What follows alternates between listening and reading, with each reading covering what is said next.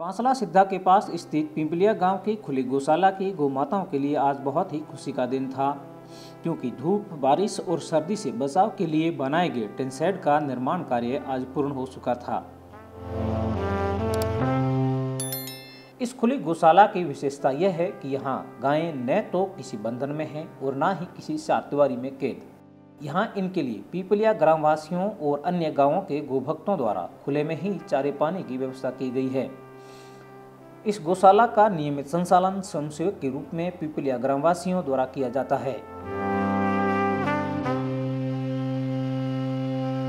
यह चारा रखने के लिए एक बाड़ा बनाया हुआ है, जहाँ सारा व्यवस्थित रूप से रखा जाता है। पास ही गायों के पीने के पानी की व्यवस्था सार्वजनिक खोद के रूप में है। ग्रामवासियों के विशेष आग्रह पर योगेश्वर सूरजनाथ सिद्ध जी महाराज भी यहाँ पधारे।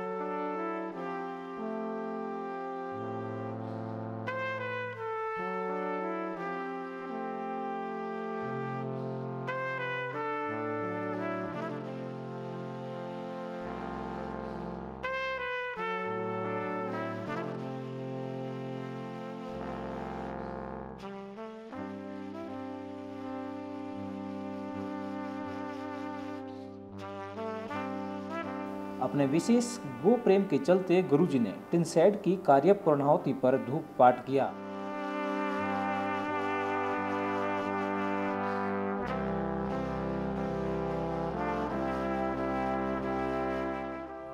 जाग जसना जाग नर निकलंग राजा करवावन को रूप बार चढ़ियो बड़ राजा जंगवांग वीर संगासर साजा मिड़ी समंदरी पास। समंदर बंदी बाजा राणो रावण ने मारियो राक्षस पटवाल कर जोड़िया दे पाल जी भणे। जागो जागो जति कृष्णा जी महाराज। शिवा जाग जाग जसनाथ सूता क्यों सरसी सामी? मेहर करो महाराज उठो ते अंतर्यामी। गुनो बख्शो गोमदा चाकर बयाज खामी। दर्शन दो भगवान शिवगा विनती स्वामी प्रगट रो भगवान उठो ते अंतर्यामी। हाथारा युष बचो हर दिगाड़ो आत श्याम रे शरण दे पाल जी भणे। जागो जागो जति महाराज। बहुत ही उत्साहित और उमंग से भरे हुए अनेकों गोभक्त इस अवसर पर उपस्थित थे। गुरुजी ग्रामीणों के द्वारा संचालित इस प्रकार की खुली गौशाला के कार्य को देखकर बहुत ही प्रभावित हुए और उनके कार्य की बहुत प्रशंसा की। एवं अनंतर ऐसी ही और गौशालाओं के संचालन का पक्ष भी रखा।